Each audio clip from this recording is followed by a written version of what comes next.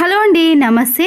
Water bottle యొక్క cap ముందటి భాగం ఉంటుంది కదండి. దాని వరకు కట్ చేసిన తర్వాత ఇలా క్యాప్ను పెట్టేసుకున్నాక చిన్న చిన్న హోల్స్ అనేవి చేసుకోవాలి. ఒక బెలూన్ని తీసుకొని టూ త్రీ టైమ్స్ పాటు ఇలా సాగదీసిన తర్వాత మిడిల్లో కట్ చేసుకోవాలి. కట్ చేసుకున్న కింది భాగాన్ని పక్కన పెట్టేసి దీన్ని కూడా యూజ్ చేసుకోవచ్చండి. అయితే ఇలా కట్ చేసిన పై భాగాన్ని మాత్రమే ఇలా వాటర్ బాటిల్ యొక్క క్యాప్ని కట్ చేసాం కదండి దానికి తొలగించేసేయండి. బెలూన్ యొక్క పై భాగం అనేది ఇలా కింది వైపున పెట్టిన తర్వాత ట్యాప్స్ ఉంటుంది కదండి ఆ ట్యాప్కి దీన్ని ఇలా తొడిగించేసేయాలి కిచెన్ సింక్లో కానీ లేదా ఇలా వాష్ బేసన్లో పక్కనంతా కూడా డస్ట్ పడినప్పుడు ఇలా బెలూన్ సహాయంతో మనము వాటర్తో క్లీన్ చేసుకున్నామనుకోండి చాలా నీట్గా ఉంటుంది. బెలూన్ని మిడిల్లో కట్ చేసుకున్నాం కదండి దాన్ని కూడా తీసుకొని ఇలా కొద్ది కొద్దిగా గ్యాప్ ఇచ్చుకుంటూ కట్ చేసుకోవాలి.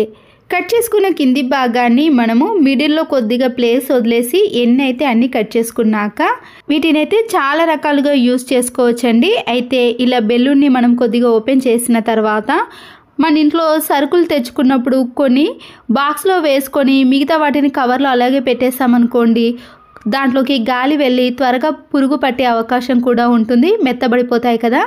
ఇలా కట్ చేసుకున్న బెల్లుని రబ్బర్ బ్యాండ్గా మనము పైన ఉన్న కవర్కి వేసేసామనుకోండి గాలి చొరబడకుండా పురుగు పట్టకుండా సరుకులను ఎన్ని రోజులైనా స్టోర్ చేసుకోవచ్చు.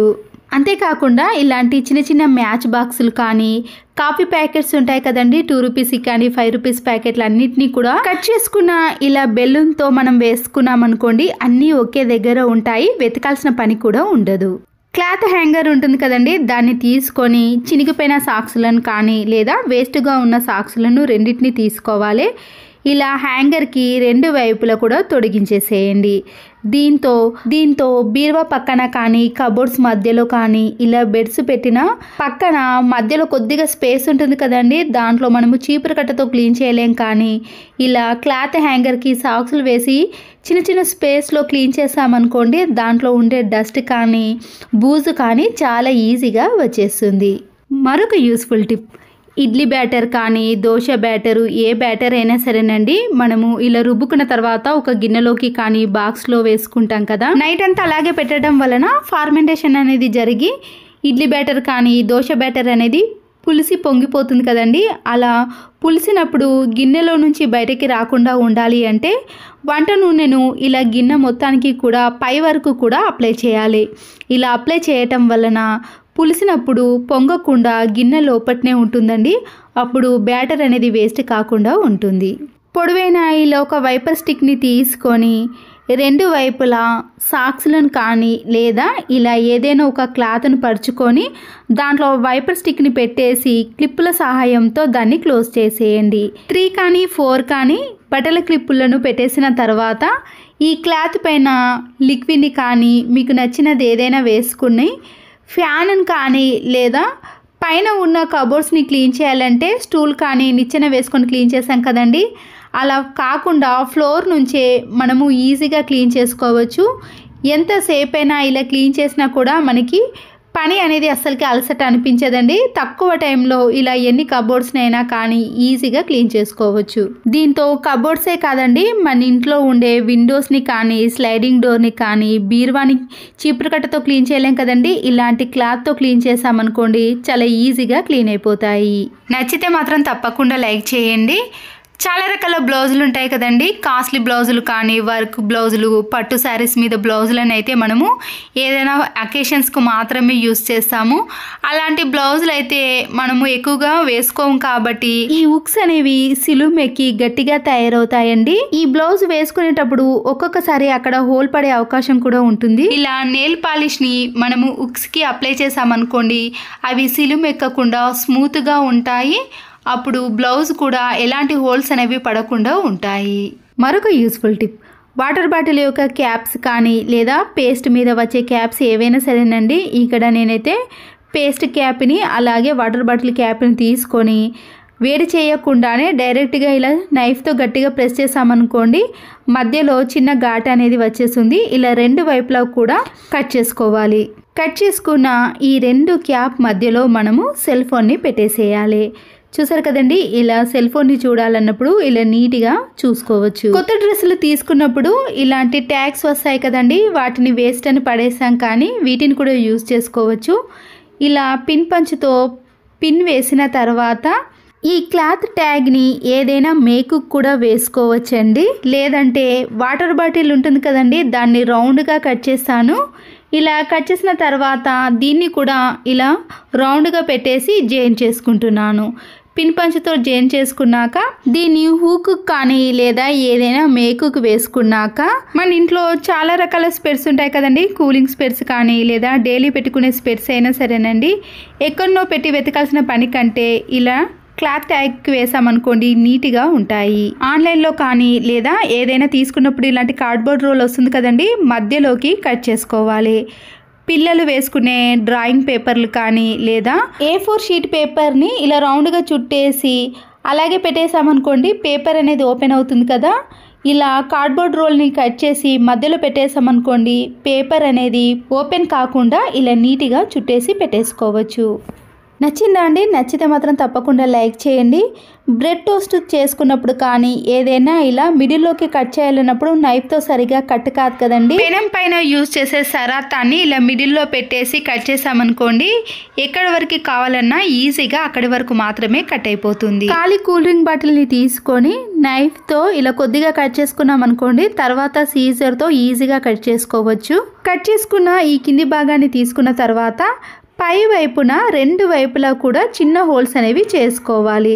అలాగే కింది వైపున కూడా చిన్న చిన్న హోల్స్ అనేవి చేసుకొని గట్టిగా ఉన్న ఒక తాడును తీసుకొని పైన హోల్ చేసుకున్నాం కదండి దాంట్లో నుంచి ఇలా రెండు వైపులా కూడా గట్టిగా ముడి వేసుకోండి. ఇప్పుడు ఈ వాటర్ బాటిల్ని బయట కానీ ఇంట్లో కానీ ఏదైనా మేకు కానీ కిటికీకి కానీ వేసుకోవాలి. వర్షాకాలంలో అంబ్రెల్లా అనేది పూర్తిగా తడిసిపోతుంది కదండి. దాన్ని ఎక్కడంటే అక్కడ పెట్టకుండా ఇలా వాటర్ బాటిల్లో పెట్టేసామనుకోండి వాటర్ అనేవి కింద ఉన్న హోల్స్లో నుంచి పూర్తిగా బయటికి వచ్చేసాయి అప్పుడు గొడుగు కూడా పూర్తిగా ఆరిపోతుంది. ఎగ్స్ని ఉడికించుకున్నాక దానిపై ఉండే పెంకును తీయాలంటే ఒక్కొక్కసారి పెంకు అనేది సరిగా రాదు కదండి.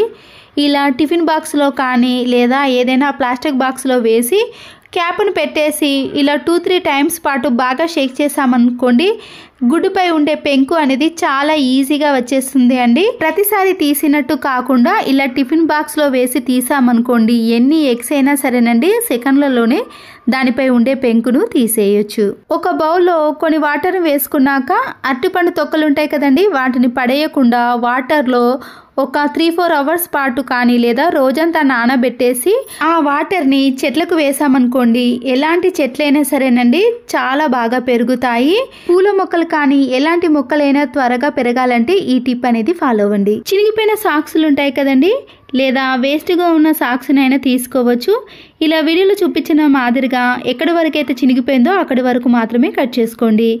మిగతా భాగం అంతా కూడా బాగానే ఉంటుంది కదండి? దాంట్లో నుంచి కూడా ఇలా కొద్దిగా మాత్రమే కట్ చేసుకోవాలి. ఈ సాక్సులు అనేవి ఎలాస్టిక్ మాదిరిగా ఉంటాయి కదండి? మీకు పొడవు ఎక్కువగా కావాలంటే ఇలా నిలువులో కానీ తక్కువ సైజులో కావాలంటే అడ్డంలో కానీ ఇలా రెండు విధాలుగా మీకు నచ్చిన విధంగా కట్ చేసుకోవాలి. తర్వాత మాస్క్కు ఉండే థ్రెడ్స్ ఉంటాయి కదండి అది కూడా ఎలాస్టిక్ మాదిరిగా ఉంటుంది కదా దాన్ని కూడా ఒక సైడ్ మాత్రమే కట్ చేసుకోండి. ఇప్పుడు ఇలా కట్ చేసుకున్న థ్రెడ్ని కట్ చేసుకున్న సాక్స్ మధ్యలో పెట్టేసి మీరు స్టిచ్చింగ్ వేసుకోవాలి. స్టిచ్చింగ్ వేసుకునే టైం లేనప్పుడు గ్లూ గమ్తో కూడా అతికించేసుకోవచ్చండి.